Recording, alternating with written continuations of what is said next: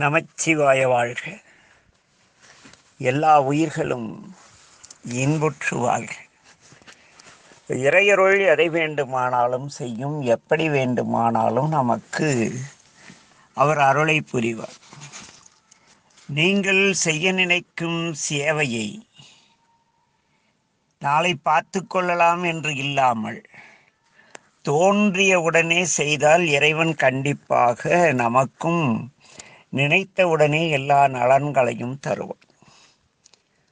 வடலூர் வள்ளலார் வள்ளலார் என்றால் பெரியவர் கோவித்துக் கொள்வார். வடலூர் ராமலிங்கம் ஐயா அவர்கள் ஒரு முறை திருவாசகம் பற்றி ஏதோ எழுதி கொண்டிருக்கும் பொழுது அவர் தங்கியிருந்த வீட்டின் அம்மையார் அவர் அருகில் குடிப்பதற்காக தண்ணீர் வைத்திருக்கிறார்.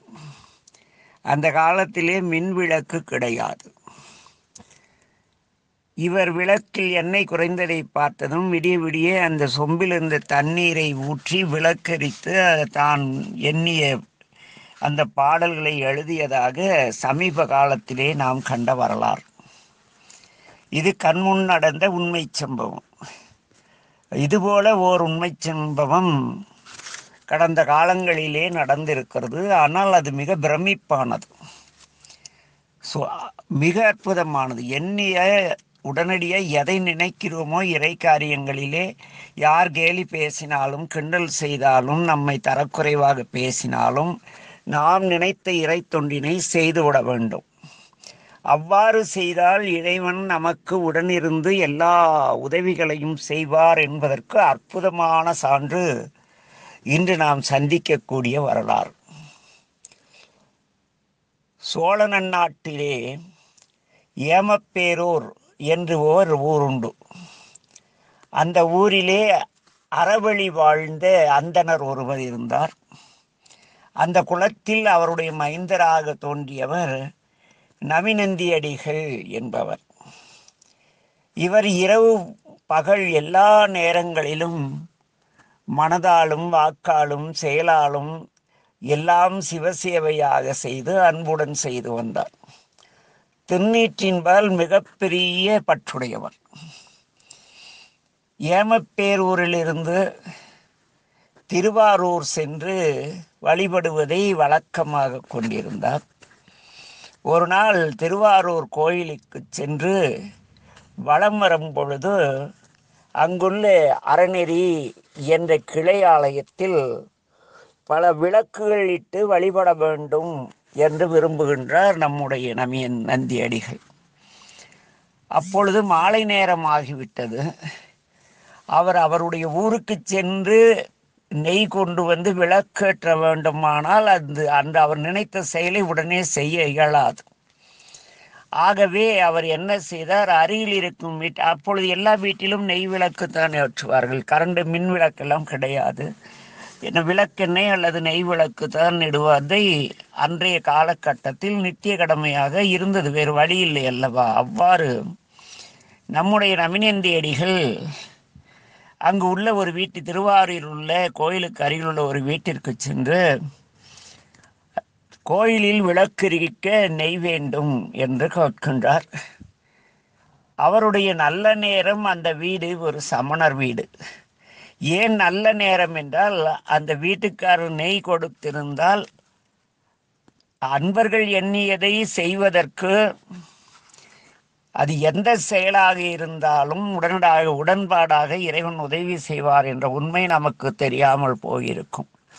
ஆகவே நெய் இல்லை என்று கூறிய அந்த சமணர் நல்லவர்தான் நல்லதுதான் செய்தார். ஏனெனில் மெய்ப்பொருள் நாயனாருடைய வரலாற்றிலே அவருடைய முத்தநாதன் அவர் எண்ணியதை நினைத்த பொழுது நம்பெருமான் யாரும் தராத பேர் இன்பம் தந்தீர் என்கின்றார். அவ்வழியிலே இங்கே நாம் இந்த சமணர் விளக்கிற்கு நெய்யரிக்க நெய் விளக்கரிக்க நெய் வேண்டும் என்று நமினந்தியடிகள் கேட்ட பொழுது அவர் இவரை பார்த்து சிரித்து கையில் கனலேந்தியிடும் சிவபெருமானுக்கு விளக்கு ஏன்? அவர் தான் கையிலேயே விளக்கு வச்சிருக்காருல்ல. ஜோதி விளக்கு எரியுதுல்ல. அவருக்கு எதுக்கே விளக்கு போடுறீங்க? கரெக்டான சரியான கேள்வி தானே அது அவருக்கு எதுக்கு விளக்கு? என்ன? முடியும் முடியுமா வேணா ஒன்று செய்ய. அங்கே போய் திருவாரூர் தெப்பக்குளத்திலிருந்து தன் கமலாலய குளத்திலிருந்து தண்ணீர் கொண்டு சென்று விளக்கேற்று என்று கிண்டல் செய்கிறார்கள். அது கேட்டு மனம் நொந்து இறைவன் கோயிலுக்குள் செல்கிறார். இறைவனை பணிந்தார். பணிந்து கண்ணீர் மல்க மனம் நொந்து கதறிக்கொண்டிருக்கிறார் அப்பொழுது ஆகாயத்திலே ஒரு ஒளி தோன்றுகிறது. அன்பனே நமினந்தி நீ நமது கமலாலய நீரால் விளக்கரிப்பாயாக என்று அந்த குரல் கேட்டது. உடனடியாக தெளிந்து மனமிக தேறி எழுந்து ஓடினார் நமினந்தியடிகள் குளத்திலிருந்து கமலாலய திருநீற்றில் குளத்திலிருந்து தண்ணீர் கொண்டு வந்தார்.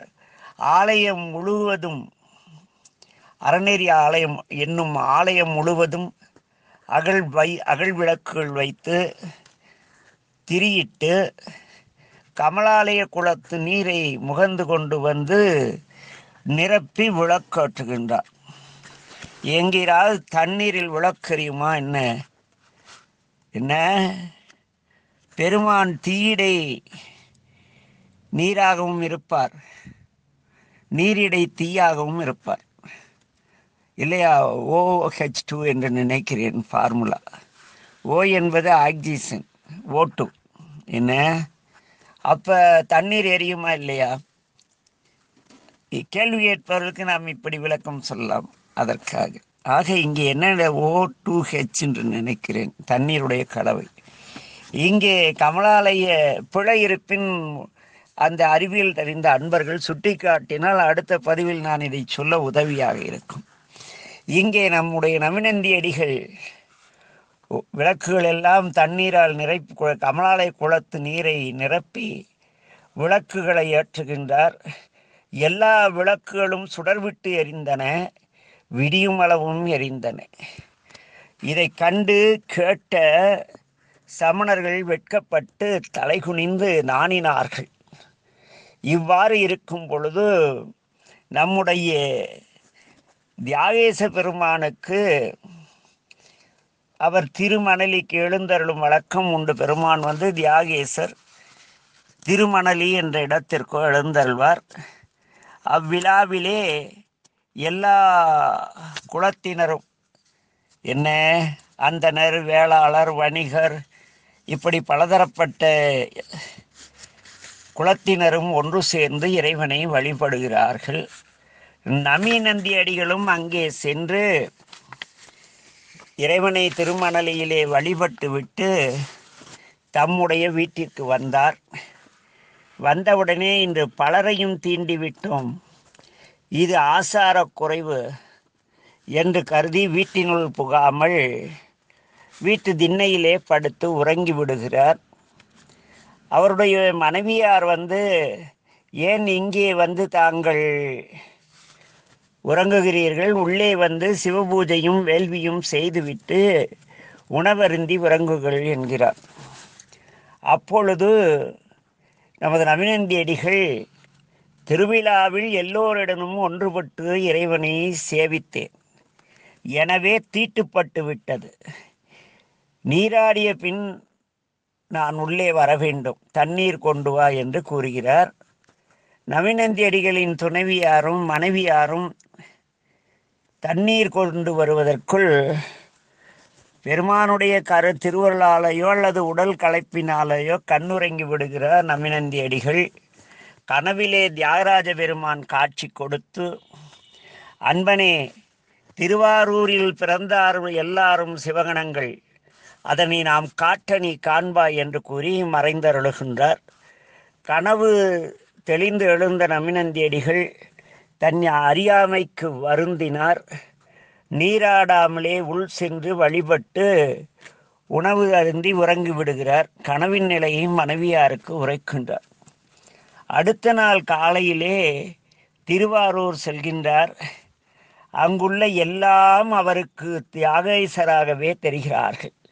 அங்குள்ள மான் மழு மாடுகள் ஆடுகள் மனிதர்கள் எல்லாரும் அங்கிருக்கும் கட்டடங்கள் அனைத்தும் பா காணும் நடமாடும் நடமாடாத அனைத்து உயிரும் எல்லாம் சிவனென்ன நின்றாய் போற்றி என்ற திருமுறையிலே வருமே. அதுபோல எல்லாம் தியாகராஜாவாக காட்சி தர தன்னுடைய பிழை பொறுக்குமாறு நமினேந்தியடிகள் நிலத்தின் மேல் நெடிது வீழ்ந்து பணிகிறார். தன் பிழை பொறுக்குமாறு இறைவன் மன்றாடுகிறார். அதற்கு பிறகு அந்தந்த பொருள் அததாக காட்சி தந்தது. நமினந்தியடியுடைய இந்த தொண்டினை அப்பர் பெருமான் பாராட்டி பாடியுள்ளார் திரு தேவாரத்திலே. இப்படி பலகாலம் பணிபுரிந்து நம்முடைய நமினந்தியடிகள் இறைவனுடைய திருவடி சேர்ந்தார் என்று வரலாறு நிறைவு பெறுகிறது. அவ்வழியிலே இந்த வரலாறு நமக்கு கூறக்கூடிய உண்மை என்ன? ஒரு ஆலயத்திற்கு நாம் செல்லும் பொழுது உள்ளே நினைக்கும் பொழுது ஆலயத்தை கூட்ட வேண்டும் என்ற நினைப்பு வந்தால் உடனே எடுத்து கூட்டி விட வேண்டும். துடைப்பம் கிடைக்கவில்லை என்றால் கண்டிப்பாக இறைவன் உங்கள் உண்மையாக தேடினால் கண் முன்னால் துடைப்பம் வைத்திருப்பார். இல்லை ஏதோ அப்படி கூட்டினா பரவாயில்லன்னு நினச்சிங்களா? எதுவும் கண்ணில் தெரியாது. அதே போல் விளக்கேற்ற வேண்டும் என்று நினைத்தால் உண்மையாக நினைத்தால் என்னுடைய அனுபவத்திலே நான் சந்தித்திருக்கிறேன். நிறைய திருவாரூரில். ஒரு முறை நான் திருவாரூர் சென்றிருந்த பொழுது எப்பவும் காலையில் திருவனந்தல் வழிபட்டு விட்டு என்னுடைய தொழிலை பார்த்து திரும்பிவிடுவேன். விடுவேன் வழிபட்டு ஒரு முறை மாலை வேளையிலே சென்றிருந்தேன். அப்பொழுது ஆலயத்தின் ஒரு பகுதியிலே அந்த நிறைய சுற்றிலும் சிறு கோயில்கள் இருக்கும். அதில் ஐந்தாறு கோயில்களிலே சரியான வெளிச்சம் இல்லை. உள்ளே கருவ அந்த சாமியுடைய மூலட்டானத்திலே விளக்கு மங்கும் நிலையில் இருந்தது. என்ன செய்வது என்று தெரியவில்லை. பெருமானிடம் முறையிட்டேன். தற்செயலாக இந்த அறநெறி அண்ணல் வந்து என்பால் மிக அன்புடையவர். இப்பொழுதெல்லாம் அவர் அது எனக்கும் சாமிக்கும் திருவாரூரிலே சில அற்புதமான பந்தங்கள் உண்டு. கடந்த முறை கும்பாபிஷேகம் நடந்த பொழுது எல்லோரும் அவர்களாலான பங்களிப்பை செய்தார்கள். எனக்கு பெரிய மனது கிடையாது. இவன் தியாகராஜாவுக்கு கொடுக்குற அளவு நான் என்ன பெரிய ஆளா? அப்படின்னு கெத்து காட்டிட்டு கொடுக்கல. ஒன்றுமே செய்யலை. நூறுரூபா கூட நம்மளால் கொடுக்க மனசு இல்லைன்னு வச்சிங்களேன் இப்படி இருக்கும் பொழுது முதல் நாள் யாகசாலை அலங்காரம் எல்லாம் முடிந்து அதிகாலையிலே யாகம் தொடங்குவதற்கு முன்பாக சுத்தம் செய்து கொண்டிருக்கிறார்கள் அடியார்கள்.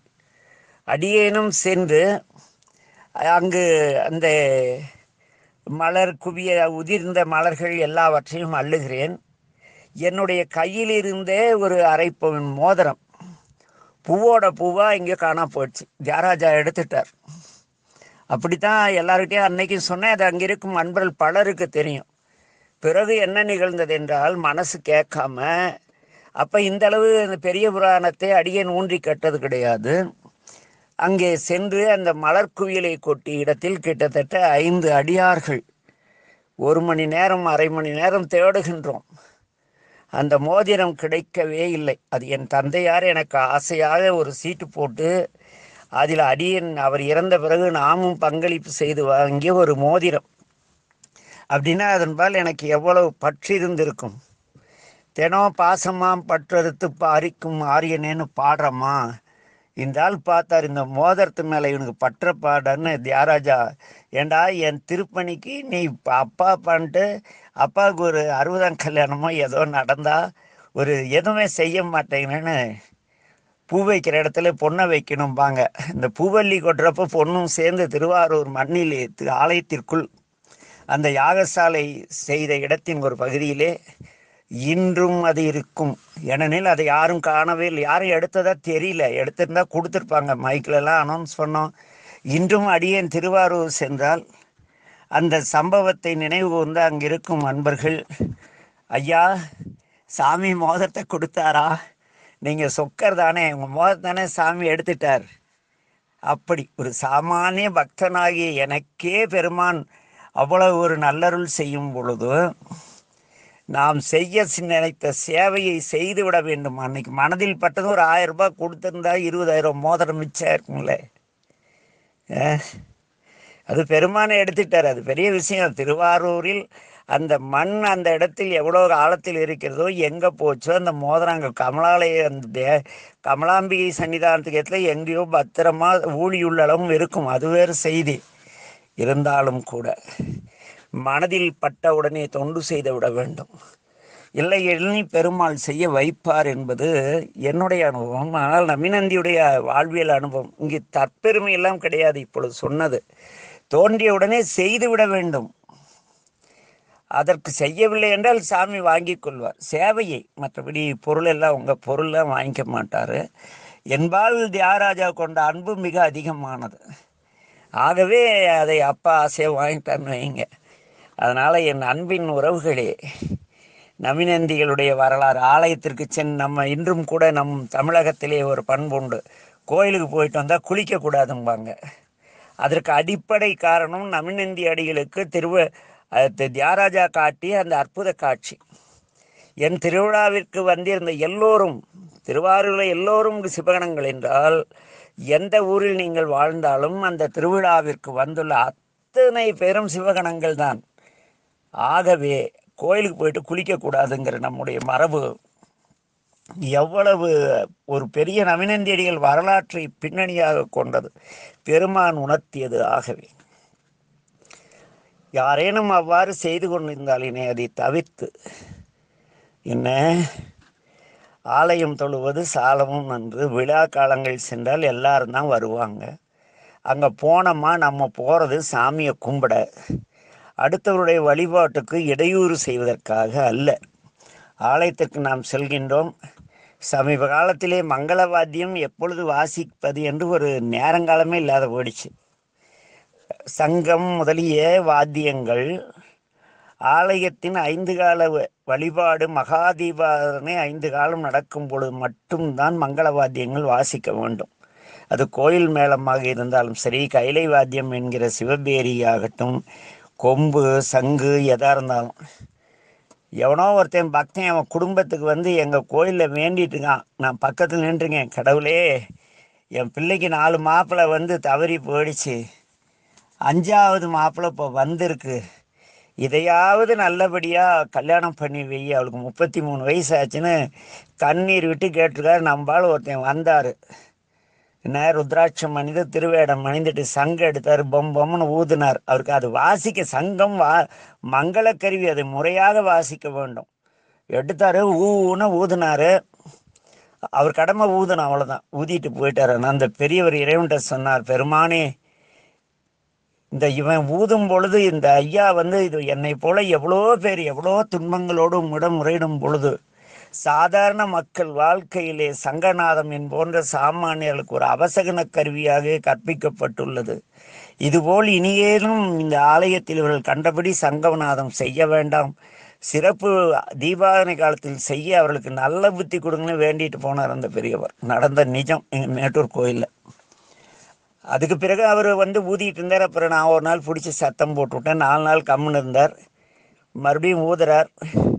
அவர் அவர் நிற்கிறப்ப என் பக்கத்தில் யாராவது வேண்டுதுன்னா ஐயா கொஞ்ச நேரம் நீங்கள் வேண்டதை நிறுத்துங்க. தப்பாக எடுத்துக்காதீங்க. இவர் சங்கு ஊதுவார்.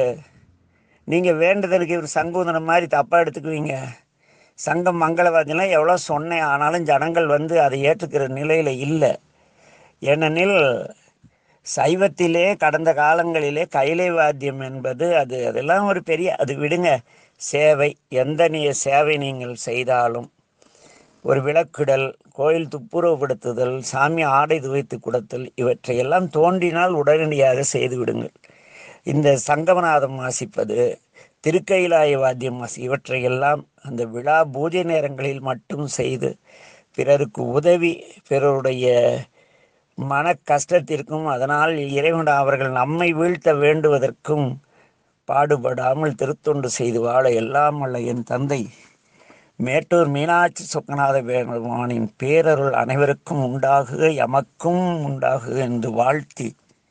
என்ன? அடுத்த பதிவில் சந்திக்கும் பொழுது விடைபெறுகிறோம். எம்முடைய பதிவு மீண்டும் மீண்டும் இதை நான் வலியுறுத்தி கொண்டிருக்கிறேன். சாமானியமாக சைவத்திற்கு புதிதாக வந்து அரைகுறையாக பெரிய புராணத்தில் வரும் அந்த அறுபத்தி மூன்று ஐம்பத்தி அறுபத்தி மூன்றில் ஒரு தொகையடியத்தான் மற்ற எல்லா அன்பர்களும் பல்வேறு நிலைகளிலே இறைவனை வழிபட்டவர்கள். அவர்கள் எந்த இடத்திலும் சிவனடியார்கள் என்றெல்லாம் சுட்டிக்காட்டப்படவில்லை. திருத்தொண்டர்கள் என்றுதான் சுட்டி காட்டப்பட்டுள்ளார்கள் அதையெல்லாம் மாற்றி சிவனடியாராக வந்தார். சிவனடியாராக இயற்பகை நாயனார் வீட்டில் வந்து அவர் மனைவியை கேட்டார்னா சிவனடியாருக்கு இழுக்கு என்பதால் தான் வந்து அந்த அடியார்களுக்கு இலக்கணம் தெரிந்த சேக்கிழார் அடிகள் அந்த வார்த்தையை பெருபுராணத்தில் போடவே இல்லை. திரு தொண்டர் புராணம்னு போட்டார். அவங்க எந்த மரபுனா அந்த காலத்தில் அறவழி வாழ்ந்த எல்லோரும் அந்தனர்கள் தான். அந்தணர் என்பர் அறவோர். அப்படித்தானே திருக்குறள் சொல்லுது. ஆக என் அன்பின் உறவுகளே அறவழி வாழ்ந்து நாமும் அந்த தில்லைவாழ் அந்தணராகிய நடராஜ பெருமானின் திருவடியை சிந்திப்போம் என வாழ்த்து விடைபெறுகிறோம். நமச்சிவாய வாழ்க. இந்த பதிவு சாமானியருக்காக பதிவு. அப்படியே அழகுபடுத்தி பெரிய புராணத்தை பேசுவதற்காகவோ அதற்காக பதிவு செய்யப்படவில்லை என்பதை மீண்டும் அறுதிட்டு கூறி விடைபெறுகிறோம். நமச்சிவாய் வாழ்க. எல்லா உயிர்களும் இன்புற்று வாழ்க. திருச்சிற்றம்பலம்.